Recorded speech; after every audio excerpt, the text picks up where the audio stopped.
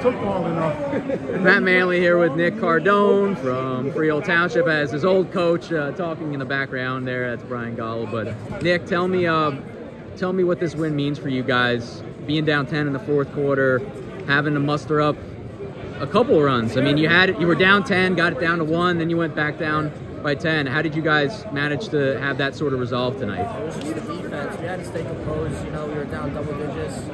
It's a big game for Coach Smith, Coach Gall. It means a lot to them. I think we're 12 and 1 in it, now 13 and 1, so it means a lot to get that win tonight. Yeah, and you know, you mentioned Coach Gall being here tonight. He was in the stands though. Uh, Coach Smith, who you guys have had as your assistant for a lot of years.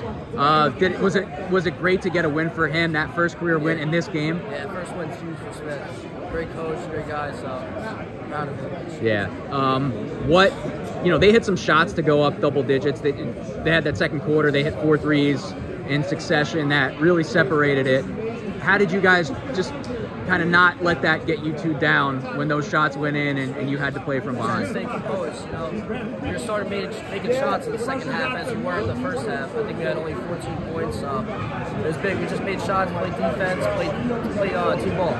Yeah, they have two all division guys on their team, uh, Christian DeGiso and uh, Brian Tassi. You guys did a pretty good job on them tonight. Um, how about the defense you guys played, particularly against their two top scorers? Yeah, we played tough on them. We know uh, we just had to make them make tough shots, and we did that, and they didn't do as well as we thought they were. How much do you guys embrace the challenge of continuing what this program does from year to year, always competing in the division, in this rivalry. You lost two All Shore guys from last year, but how much pride do you guys take in just turning it over to the next group? Yeah, it's always always the next group. Hayward's a tough division, so it's a big win to get out of division against Borough, and we just know we got to play tough defense. And if we play good defense, our offense will come throughout the game. Nick Cardone, 19 points tonight for Freehold Township and a four-point win over rival Freehold Borough. Great job tonight, Nick. Congrats. Thank you.